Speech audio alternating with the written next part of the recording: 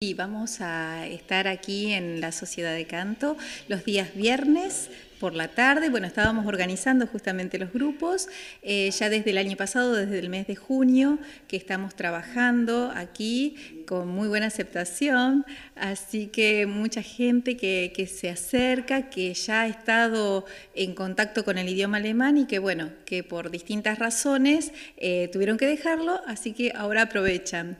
Eh, sería los días viernes a partir de las 15 horas, 15, 15.30 estábamos viendo los horarios y cualquier consulta se pueden acercar con algún miembro de, aquí de la Sociedad de Canto, con la señora Nenu o Norma, que saben bien del tema y que bueno, que le pueden facilitar mi número de teléfono. Por lo general los interesados son adultos, teniendo en cuenta un poco también nuestras raíces, sobre todo en San Carlos Sud. ¿Esto a la hora de tomar la decisión de elegir este idioma pesa? Eh, sí, yo creo que sí. la mayoría de los eh, alumnos son adultos, pero a ver, para el idioma no hay edad. Yo siempre le digo a los alumnos que para prevenir el Alzheimer lo mejor de todo es aprender un idioma y así que eh, lo que tratamos es pasar un rato conociendo el idioma alemán, justamente por las raíces que tenemos desde aquí, de la zona. Yo soy de Frank, pero bueno, cercano aquí. Bueno, uno piensa, ¿no? Desde afuera que este es un idioma difícil de aprender, eh, esto es así, ¿no? Bueno, no es tan así. A ver, el idioma alemán eh, es de origen anglosajón como es el idioma inglés. Eh, tienen las estructuras bastante similares.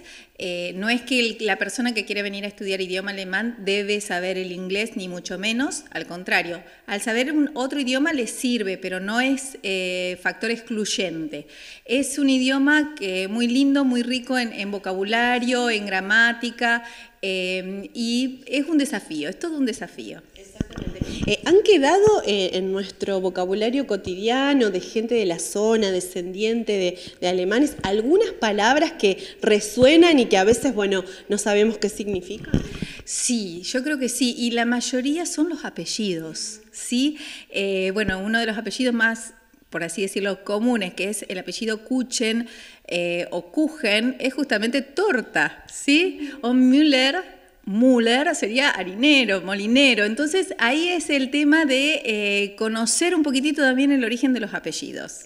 Y la pronunciación, porque a veces preguntamos, bueno, se escribe así, pero ¿cómo se pronuncia? Bueno, el tema de la pronunciación es eh, relativamente fácil. La mayoría de, las personas que, que, se han acercado, tanto los alumnos de aquí como los de Fran, eh, ven que la pronunciación del idioma inglés es como se escribe en, en alemán.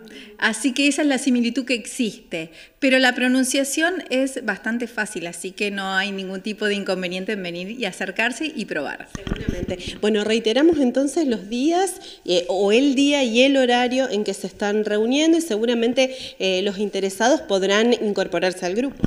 Sí, sí. Eh, bueno, ahora justamente estamos trabajando ya con el grupo que estuvieron trabajando el año pasado y a partir del mes de mayo vamos a comenzar un nuevo grupo de idioma alemán los días viernes desde las 15.30, eh, 15.45 horas, eh, y la idea es ayornarnos al justamente al horario de cada uno de los alumnos como para poder mejorar y que todos puedan participar.